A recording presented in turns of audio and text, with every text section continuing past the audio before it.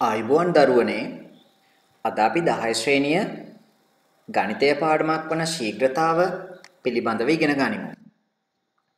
මේ පාඩම ඉගෙනීමෙන් ඔබට දුර කාලය හා වේගය සම්බන්ධ ගැටලු විසඳීමට දුර හා කාලය ඇතුළත් තොරතුරු ප්‍රස්ථාරයක නිරූපණයට ද්‍රව පරිමා කාලය හා ශීඝ්‍රතාව සම්බන්ධ ගැටලු විසඳීමට හැකියාව ලැබෙනු ඇත. අද දවසේ අපි දුර හා කාලය ඇතුළත් තොරතුරු ප්‍රස්ථාරයක නිරූපණය කරන ආකාරය පිළිබඳව ඉගෙන ගනිමු.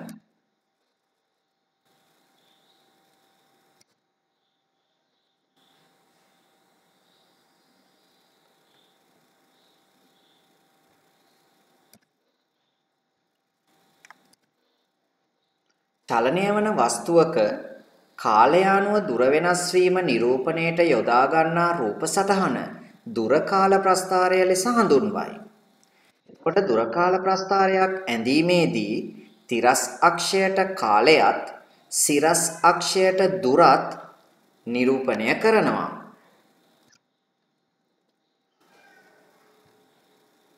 හොඳයි. පළවෙනි ගැටලුවට යොමු වෙමු. ඒකාකාර වේගයෙන් ගමන් ගන්නා වස්තුවක ගතවන කාලයට අනුරූපව ගමන් කරන දුර පහත වගුවේ දැක්වේ. මෙම තොරතුරු දුර කාල ප්‍රස්ථාරයකින් දක්වන්න. බලන්න පුතේ තොරතුරු ගත වූ කාලය අපිට දීලා තියෙනවා තත්පර වලින්. ගමන් කළ දුර දීලා තියෙන්නේ මීටර වලින්. තත්පර 10 දී මීටර 15ක් ගමන් කරලා තියෙනවා. තත්පර 20 වන විට මීටර් 30යි තත්පර 30 වන විට මීටර 45යි තත්පර 40 වන විට මීටර 60යි ඔය ආදී වශයෙන් මේ වස්තුව ගමන් කළ දුර සහ ඒ සඳහා ගත වූ කාලය අපිට දීලා තියෙනවා. හොඳයි. අපි එහෙනම් මේ තොරතුරු දුර කාල ප්‍රස්ථාරයකින් දක්වමු. තියෙනවා වගුව. මුලින්ම මං තිරස් අක්ෂය අඳිනවා කාලය සඳහා කාලය තත්පර වලින් දීලා තියෙන නිසා මට වරහන් ඇතුලේ තත්පර කියලා ලියන්න පුළුවන්. ඒ වගේමයි සිරස් අක්ෂය දුර මේ අවස්ථාවේ දුර මීටර වලින් තියෙන නිසා මම වරහන් ඇතුලේ මීටර කියලා ලිව්වා. හොඳයි. දැන් අපි ක්‍රමාංකණය කරමු කාලය කියන අක්ෂය. අපිට පුළුවන් කාලය තත්පර 10 20 30 40 ඔය අගයන් අවශ්‍ය නිසා සමාන පරතර වලට බෙදාගෙන බිඳුව 10 20 30 40 50 60 කියලා මට අවශ්‍ය අගයන් මම ඒකේ ලකුණු කරලා තියෙනවා. නිවැරදිව කාලය අක්ෂය ක්‍රමාංකණය කරගත්තා. ඊළඟට දුර කියන අක්ෂය ක්‍රමාංකණය කරන්න හදන්නේ ඒකත් සමාන පරතර වලට බෙදලා 15 30 45 කියලා සමාන පරතරවල අගයන් ලිව්වා. දැන් අපි ඒ ඒ කාලයන්ට ගමන් කළ දුර පටිපාටිගත යුගල් වශයෙන්ගෙන ලක්ෂ ලකුණු කරමු. මුලින්ම තත්පර 10 දී දුර මීටර් 15 ඊළඟට තත්පර 20 දී දුර මීටර් 30 ඔය ආදී වශයෙන් මේ වගුවේ තියෙන සියලුම තොරතුරු වලින් අපි ඒ පටිපාටිගත යුගල වලට අනුව ලක්ෂ ලකුණු කරලා තියෙනවා. අපි දැන් මේ ලක්ෂ ටික යා කරමු. ඔයාලට පැහැදිලිව පේනවා ඇති සරල රේඛීය ප්‍රස්ථාරයක් තමයි අපිට ලැබුණේ. නේද පුතේ?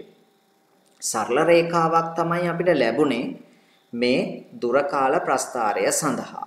හොඳයි. එහෙමනම් මෙන්න මේ විදියට තමයි අපි අපිට ලැබිලා තියෙන තොරතුරු නේද? කිසියම් වස්තුවක් ගමන් කර දුර සහ ඒ සඳහා ගත වූ කාලය පිළිබඳව අපිට ලැබිලා තියෙන තොරතුරු වලින් දුර කාල ප්‍රස්ථාරයක් අඳින්නේ. හොඳයි. අපි ගැටළු අංක දෙකට යොමු වෙමු. ඒකාකාර වේගයෙන් ගමන් ගන්නා වස්තුවක ගතවන කාලයට අනුරූපව ගමන් කරන දුර පහත වගුවේ දැක්වේ. මෙම තොරතුරු දුර කාල ප්‍රස්ථාරයකින් දක්වන්න. මෙන්න වගුව මේ අවස්ථාවේ අපිට ගත වූ කාලය දීලා තියෙන්නේ පැය වලින් ගමන් කළ දුර කිලෝමීටර් වලින්. පළමු පැයේදී කිලෝමීටර් 50යි. දෙවෙනි පැයේදී නේද? දෙවෙනි පැය වන විට කිලෝමීටර් 100ක් ගමන් කරලා තුන්වෙනි පැය වන විට කිලෝමීටර් 150ක දුරක් ගමන් කරලා. ওই විදිහට තමයි මේ වස්තුව ගමන් කරලා තියෙන්නේ. හොඳයි. අපි එහෙනම් මේ තොරතුරු කාල ප්‍රස්ථාරයකින් දක්වමු. හොඳයි. එම කාලය අක්ෂය පැය වලින් දීලා තියෙනවා. මම ක්‍රමාංකණය කරගන්නවා. දුව 1 2 3 4 5 6 පැය 6ට එනකම් ක්‍රමාංකණය කළා නම් ඇති මේ වගුවට අනුව ඊළඟට දුර අක්ෂය ක්‍රමාංකණය කරමු අපි.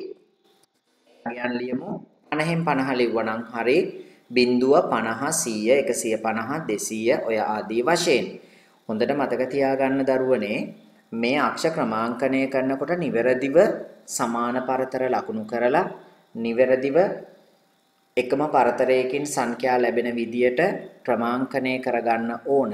එහෙම නැත්නම් විභාගෙදී ඔයාලට ලැබෙන ලකුණු වලින් කොටසක් අඩු වෙනවා අක්ෂ නිවැරදිව ක්‍රමාංකණය කළා නැත්නම්. හොඳයි. ඊළඟට පළවෙනි පටිපාටිගත යුගල එන්නේ පැය 1ට කිලෝමීටර් 50 නේද? පැය 1ට කිලෝමීටර් 50. එහෙනම් ඒ විදියට අපිට පුළුවන් සියලුම ලක්ෂ්‍ය මේ කාටිසිය තලයේ එහෙම නැත්නම් මේ ප්‍රස්ථාරයේ ලකුණු කරන්න. ඔයාලට පේනවා ඇති මේකේ විශේෂත්වයක්. නේද? පැය 3ෙදිත් ගමන් කළ දුර 150යි නේද? පැය 3ෙදිත් ගමන් කළ දුර කිලෝමීටර 150යි. පැය 4ෙදිත් ගමන් කළ දුර කිලෝමීටර 150යි. අපි ප්‍රස්ථාරය ඇඳලා බලමු මොන හරි විශේෂත්වයක් තියෙනවද කියලා. ඔව් ඔන්න පුතේ පැය 3ේදී සහ 4ේදී නේ? පැය 3 සහ 4 අතර ඒ ලැබුණ රේඛාව අපිට ආවේ කාලයාක්ෂයට සමාන්තරව. කාලයාක්ෂයට සමාන්තරව. එතකොට අපිට පැහැදිලිව පේනවා එතන දුර වෙනස් වීමක් සිද්ධ වෙලා නැහැ. එහෙමනම් පුතේ මේ වස්තුව පැය 3 සිට 4 දක්වා තියෙන කාලය තුල ගමන් කරලා නැහැ නිශ්චලතාවයෙන් තමයි තිබිලා තියෙන්නේ. නේද? පැය 3ේදී තිබුණ දුරම තමයි පැය 4 වන විටත් තිබුණේ. අපි හිතමු වාහනයකින් අපි ගමනක් ගියා කියලා. එහෙනම් මේ අවස්ථාවේ ගමන් කරන්නේ නැතුව ඒක නවත්තලා තමයි තියෙන්නේ. නේද? නිශ්චලතාවයෙන් තමයි තියෙන්නේ. ඔන්න එහෙනම් අපිට දුර කාල ප්‍රස්ථාරයක නිශ්චලතාවයක් අඳුර ගන්න පුළුවන්. කාලය කියන අක්ෂයට සමාන්තරව රේඛාව ගමන් කළා නම් එතනදී දුර වෙනස් වීමක් සිදු වෙලා නැහැ. ඒ කියන්නේ නිශ්චලතාවයෙන් තමයි ඔය වාහනය නැත්තම් ඒ වස්තුව තිබිලා තියෙන්නේ. හොඳයි. එහෙමනම් මේ වගුවට අනුව දුර කාල ප්‍රස්ථාරය මෙන්න මේ ආකාරයට තමයි ලැබෙන්නේ. පැහැදිලි නේද දැන් දීලා තියෙන තොරතුරු සමූහයකට අදාළව දුර කාල ප්‍රස්ථාරයක් අඳින විදිය? හොඳයි. අපි තවත් ඉදිරියට යමු පාඩමේ. දැන් අපි කතා කරන්න යන්නේ දුර කාල ප්‍රස්ථාරයක් මගින් වස්තුවක වේගය සෙවීම. ඊටමත් වැදගත් පුතේ මේ මාතෘකාව. කොහොමද ඒක කරන්නේ කියලා. දුර කාල ප්‍රස්ථාරයක අනුක්‍රමණය සමානයි චලනය වන වස්තුවේ වේගය. දැන් ඔයාලා හැම කෙනෙක්ම 9 ශ්‍රේණියේදී ඉගෙනගෙන තියෙනවනේ ප්‍රස්ථාර පාඩම. එතකොට සරල රේඛාවක අනුක්‍රමණය සොයන්නේ කොහොමද කියලා නේද? හැම දරුවෙක්ම ඉගෙනගෙන ඇති. හොඳයි. 10 ශ්‍රේණියේදීත් අපි ප්‍රස්ථාර පාඩමේදී කතා කරනවා සරල රේඛාවක අනුක්‍රමණය සොයන්නේ කොහොමද කියලා. එහෙමනම් ඔන්න දැන් අපිට දුර කාල ප්‍රස්ථාරයක් ලැබුණහම ඒ දුර කාල ප්‍රස්ථාරයේ ලැබෙන සරල රේඛාවල අනුක්‍රමණය සෙවීම මගින් ඒ ඒ අවස්ථාවේ ඒ වස්තුව ගමන් කළ වේගය සොයා ගන්න පුළුවන්. නේද පුතේ? එහෙමනම් මතක තියාගන්න හැමෝම දුර කාල ප්‍රස්ථාරයක රේඛාවේ අනුක්‍රමණය චලනය වන වස්තුවේ වේගයට සමාන වෙනවා කියලා. හොඳයි. අපි උදාහරණයක් ගැන කතා කරමු. මොන තියෙනවා කාලය තත්පර වලින් සහ දුර මීටර වලින් ලකුණු කරපු දුර කාල ප්‍රස්ථාරයක්.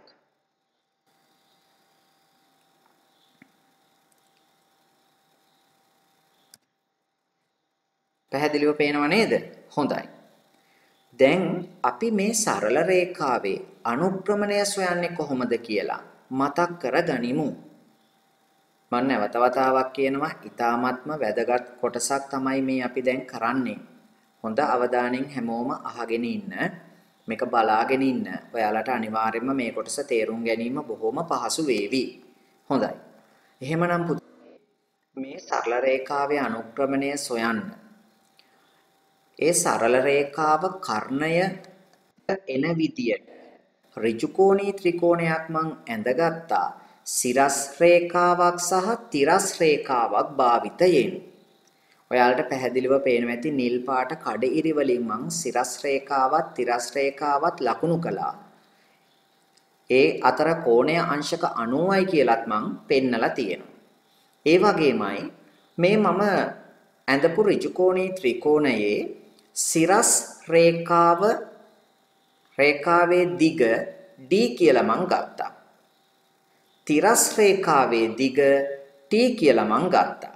ඔයාලා දන්නවා අපේ සිරස් අක්ෂය තියෙන්නේ දුර නිසා මේ සිරස් රේඛාවෙන් පෙන්වන්නේ කිසියම් දුරක්. තිරස් අක්ෂය කාලය නිසා මේ T කියන තිරස් රේඛාවෙන් පෙන්වන්නේ කිසියම් කාලයක්. හොඳයි. දැන් මට සූත්‍රයක් ගන්න පුළුවන් අනුක්‍රමණය සමානයි D බෙදීම E කියන. එහෙනම් ඔන්න දරුවනේ දැන් ඊළඟට ලැබෙන ගැටලු වලදී අපි අනුක්‍රමණය සොයන්නේ මෙන්න මේ දැන් ඉගෙනගත්ත ක්‍රමයෙන්. අපි ඍජු කෝණී ත්‍රිකෝණයක් නිර්මාණය කරගන්නවා ඊළඟට ඒකේ සිරස් රේඛාව සහ සිරස් රේඛාවේ දිග තිරස් රේඛාවේ දිගෙන් බෙදලා අපි අනුක්‍රමණය ලබා ගන්නවා. හොඳයි. අපි එහෙම ගැටලුවකට යමු. තුන්වන ගැටලුව පහත දුර කාල ප්‍රස්ථාරයට අනුව වස්තුව ගමන් කළ වේගය සොයන්න. ඔන්න පුතේ දුර කාල ප්‍රස්ථාරයක් ඔයාලට ලැබිලා තියෙනවා. කාලය තත්පර වලින් දුර මීටර වලින් ලැබිලා. හරි. අපි දැන් මේ වස්තුවේ වේගය සොයන්න ඕන. එහෙමනම් මුලින්ම අපි ඍජුකෝණී ත්‍රිකෝණය නිර්මාණය කර ගනිමු. නේද?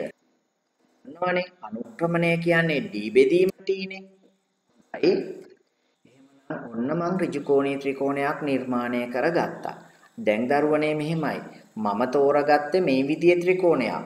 ඔයාලා හැමෝම මේ විදිහේ ත්‍රිකෝණ ගන්න. ඒ කියන්නේ මේ මම ගත්ත ලක්ෂ දෙක සම්බන්ධ කරලම ත්‍රිකෝණය අඳින්න අවශ්‍ය නැහැ. මේ ප්‍රස්ථාරයේ මත තියෙන ඕනෙම ස්ථානයකට සිරස් රේඛාවක් තිරස් රේඛාවක් ඇඳලා අපිට මේ ත්‍රිකෝණය නිර්මාණය කරගන්න පුළුවන්. හරිද? ඒකේ D වලාගේ හොයන්න මට ඕන. එතකොට මේ සිරස් රේඛාව ආරම්භ වෙලා තියෙන සහ අවසාන වෙලා තියෙන තැන් වලින් මං තිරස් රේඛා දෙකක් ඇඳලා බැලුවා අක්ෂයට මේකේ අගයන් කොහොමද එන්නේ කියලා.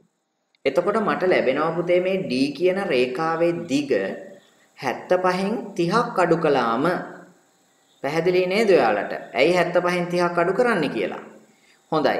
75න් 30ක් අඩු කළාම 45යි. ඔන්න එහෙමනම් D වල අගය 45යි. දැන් අපි T ගේ අගය සොයමු. T කියන රේඛාව ආරම්භය සහ අවසානය කාලය අක්ෂයට අපි ඊතල මගින් ලකුණු කළොත් T ගේ අගය ලැබෙනවා 50 අඩු කිරීම 20. ඒ කියන්නේ තත්පර 30ක් අපිට එතෙන්දි ලැබෙනවා. හොඳයි. ආදේශ කරමු. ඔන්න D වෙනුවට මම ලිව්වා 45. මොනවද මේ 45? මීටර 45යි. E වෙනුවට මම ලියනවා 30. හොඳයි. දැන් 45 30න් බෙදමු හැමෝම. කීයද අපිට ලැබෙන්නේ? 45 30න් බෙදුවහම කීයද ලැබෙන්නේ? අපිට ලැබෙන අගය තමයි 1.5. අනුක්‍රමණය 1.5යි. එහෙනම් මේ සරල රේඛාවේ අනුක්‍රමණය 1.5යි. අපි දන්නවා අනුක්‍රමණය මේ වස්තුවේ වේගයට සමානයි. එහෙනම් මට ලියන්න පුළුවන් වස්තුවේ වේගය සමානයි තත්පරයට මීටර 1.5යි. ඔන්න බලන්න. එහෙනම් මේ වගේ දුර කාල ප්‍රස්ථාරයකින් වේගය ලබා ගැනීම ඊතරම් අපහසු දෙයක් නෙවෙයි. හරිම පහසුයි. අපිට තියෙන්නේ ඍජුකෝණී ත්‍රිකෝණයක් නිර්මාණය කරලා සිරස් රේඛාව ඒක රේඛාවේ දිග තිරස් රේඛාවේ දිගෙන් බෙදන්න නේද? හොඳයි. අපි තවත් ගැටලුවකට යමු. ගැටලුව අංක 4ට යමු. පහත දුර කාල ප්‍රස්ථාරයට අනුව අවස්ථා දෙකේදී වස්තුව ගමන් කළ වේගයන් සොයන්න. මෙන්න දරුවනේ ප්‍රස්ථාරය. ඔයාලට පේනවා ඇති කාලය පැය 3 දක්වා රේඛාවට අනුක්‍රමණයක් තියෙනවා. නේද? එහෙමනම් කිසියම් වේගයකින් තමයි මේ වස්තුව ගමන් කරලා තියෙන්නේ. නමුත් පැය 3 සිට පැය 4 දක්වා රේඛාව කාලයක්ෂයට සමාන්තරව ගමන් කරලා තියෙන්නේ. ඒ කියන්නේ දුර වෙනස් වීමක් සිද්ධ වෙලා නැහැ. එහෙනම් පැය 3 සිට 4 දක්වා මේ වස්තුව නිශ්චලතාවයේ තමයි තිබිලා තියෙන්නේ. නමුත් ඊට පසුව පැය 4 සිට 6 දක්වා නැවතත් මේ වස්තුව ඒකාකාර වේගයකින් ගමන් කරලා තියෙනවා. එහෙමනම් මුල් පැය 3 ගමන් කළ වේගය අපි හිතමු පළමු අවස්ථාව කියලා. මේකේ තියෙනුනේ අවස්ථා දෙකේදී වේගයන් සොයන්න කියලා. මුල් පැය 3 තුල ගමන් කළේ පළමු අවස්ථාව ඊළඟට පැය 4 සිට 6 දක්වා ගමන් කළේ දෙවෙනි අවස්ථාව කියලා සිතමු. හොඳයි. අපි එහෙනම් වේගයන් සොයමු. මේකෙදි ඍජු කෝණී ත්‍රිකෝණ දෙකක් අඳින්න වෙනව නේද පුතේ? හොඳයි. ඔන්න තියෙනවා ප්‍රස්ථාරය. මුලින්ම පළමු අවස්ථාව පිළිබඳව සලකලා වේගය සොයන්න හදන්නේ. ඍජු කෝණී ත්‍රිකෝණයක් මං නිර්මාණය කළා. මම දැන් D ගේ අගය සොයාගන්න යන්නේ. අපි ඒක D1 කියලා ගනිමු නේද? D1. ඔයාට පුළුවන් සොයන්න මේ අගයන් දෙක උදව් කරගෙන. දුර කිලෝමීටර 150යි දුර කිලෝමීටර 50යි තියෙන්නේ. එතකොට 150න් 50ක් අඩු කරලා D1 වල අගය අපිට සොයන්න පුළුවන්. T1 කොහොමද හොයන්නේ? කල්පනා කරලා බලන්න T1 රේඛාවේ ආරම්භය සහ අවසානය. මගෙන් කොහොමද T1 ගේ අගය සොයන්නේ කියලා. හොඳයි. යනවා පළමු අවස්ථාවේ වේගය සොයන්න. අපි ඒක සොයමු d1 බෙදීම t1 වලින්. t1 සඳහා 100 ලියන්න පුළුවන් මට කිලෝමීටර 100 t1 සඳහා 2 ලියන්න පුළුවන් 3න් එකක් අඩු වුණාම 2යි දැන් 100 දෙකෙන් බෙදුවොත් 50යි. එහෙමනම් පුතේ පළමු අවස්ථාවේ මේ වස්තුව ගමන් කරලා තියෙන වේගය පැයට කිලෝමීටර 50යි. පැහැදිලි නේද? අපි දෙවන අවස්ථාවට යමු. දෙවන අවස්ථාවේ ඍජු කෝණී ත්‍රිකෝණයේ D2 කියලා මං ගන්නවා සිරස් රේඛාව T2 කියලා ගන්නවා තිරස් රේඛාව D2 කියලා ගත්තා T2 කියලා ගත්තා හොඳයි. දෙවන අවස්ථාවේ වේගය සොයද්දී D2හි අගය මට හොයන්න පුළුවන් 300න් 150ක් අඩු කරලා. එතකොට ලැබෙන්නේ හොඳයි. ආදේශ කරමු. D2 සඳහා මම ආදේශ කරනවා 300න් 150ක් අඩු කළාම 150යි.